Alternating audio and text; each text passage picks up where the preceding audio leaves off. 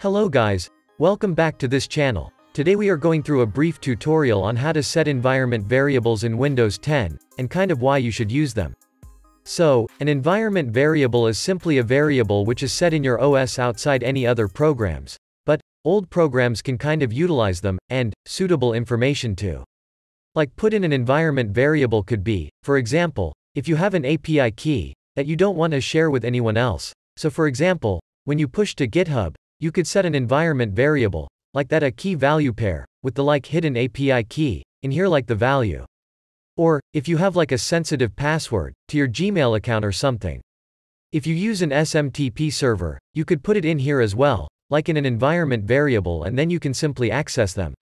For example, if you're in JavaScript you could access them by typing process dot, and, enviral dot, and then API key for instance or the variable name there in the end. And, how do you set them? Well you set them, if in Windows 10 or 11, by typing in environ here. Then you open up prompt here. And, then you pre's environment variables. Then you get another prompt. And this are like the very environment variables that are already set. And, all of the applications or most applications use environment variables, for paths etc. So, you will have some already set. But, you can go ahead and press new there, and create a new one. So let's create an API key variable, and then, the kind of hidden API key here, which is the value of that environment variable, API key will store. You press OK. And then, you press OK, again and then OK. Then your environment variables should be set.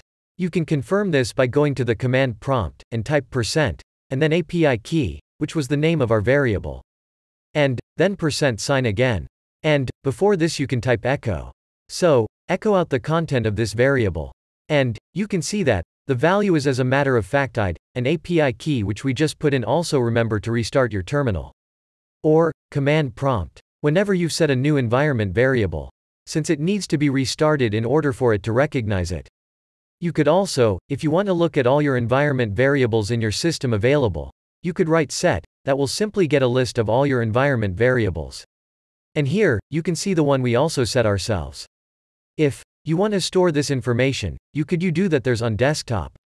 So, let's navigate to the desktop like that, and then you simply type step, and arrow, and then, the name of the txt file. Where we want to store it. So, let's say environment info.txt, and you press enter, there. And, you should have a text file layer on your desktop saying environment info and you have all the information there as well. So, that was a brief tutorial on how to use the environment variables in Windows. I hope you got it, and see you soon.